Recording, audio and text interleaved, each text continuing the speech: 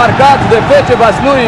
Mike Vanjera deschide scorul în minutul 13. Două grupuri care se bucură în acest moment. Primul condus de Jerlem, cel care a făcut această fază.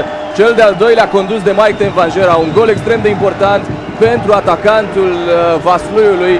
Jerlem este însă cel care a dat mingea pe lângă Blajec. O pasă excelentă, Blajec l-a faultat pe Jerlem.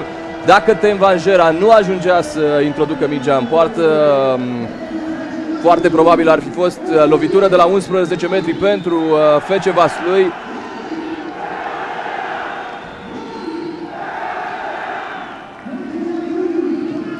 Sunt Mărtean, omul cu pasa genială, pasa care a tăiat apărarea cehilor.